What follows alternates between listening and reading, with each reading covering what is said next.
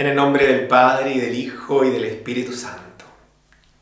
El Dios que se regala sobreabundantemente esté con ustedes. Del Evangelio según San Lucas. Jesús dijo a sus discípulos, entiéndanlo bien, si el dueño de casa supiera a qué hora va a llegar el ladrón, no dejaría perforar las paredes de su casa. Ustedes también estén preparados porque el Hijo del Hombre llegará a la hora menos pensada. Pedro preguntó entonces, Señor, ¿estas parábolas las dices para nosotros o para todos? El Señor le dijo, ¿cuál es el administrador fiel y previsor a quien el Señor pondrá al frente de su personal para distribuirle la ración de trigo en el momento oportuno? Feliz aquel a quien su Señor al llegar encuentra ocupado en su trabajo les aseguro que lo hará administrador de todos sus bienes. Pero si este servidor piensa, mi Señor tardará en llegar, y se dedica a golpear a los servidores y a las sirvientas, y se pone a comer, a beber y a emborracharse, su Señor llegará el día y la hora menos pensada, lo castigará y le hará correr la misma suerte que los infieles. El servidor, que conociendo la voluntad de su Señor, no tuvo las cosas preparadas y no obró conforme a lo que él había dispuesto, recibirá un castigo severo. Pero aquel a quien sin saberlo se hizo también culpable, será castigado menos severamente.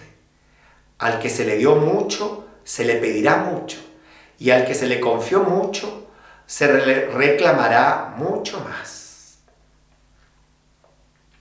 Junto al Papa Francisco, que ha sido bendecido con largueza por Dios, quisiéramos ser conscientes que no solo el Santo Padre, sino que a todos y a todas el Señor nos ha confiado para administrar mucho de su parte. Y quisiéramos responder con responsabilidad, no solo con prontitud, sino con diligencia, con un trabajo abnegado, no con pereza, no con lo mínimo para sortear el escollo, no solo para quedar bien, sino dando en cada desafío lo mejor de nosotros. Y al que responda así, Dios le va a confiar mucho más. Le dirá, servidor bueno y fiel, ahora porque administraste lo poco, entra en el descanso de tu Señor. Pidámosle al Señor que nos regale esas actitudes que brillan con humildad, pero con gran despliegue de capacidades en la persona del Papa Francisco.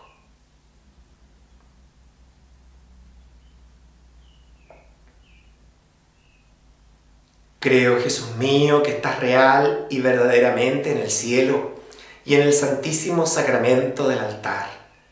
Te amo por sobre todas las cosas y deseo vivamente recibirte dentro de mi alma mas, no pudiéndolo hacer ahora sacramentalmente, ven espiritualmente a mi corazón. Y como si ya te hubiese recibido, te abrazo y me uno del todo a ti. Señor, no permitas que me separe de ti. Que le bendiga el Dios que es Padre, Hijo y Espíritu Santo.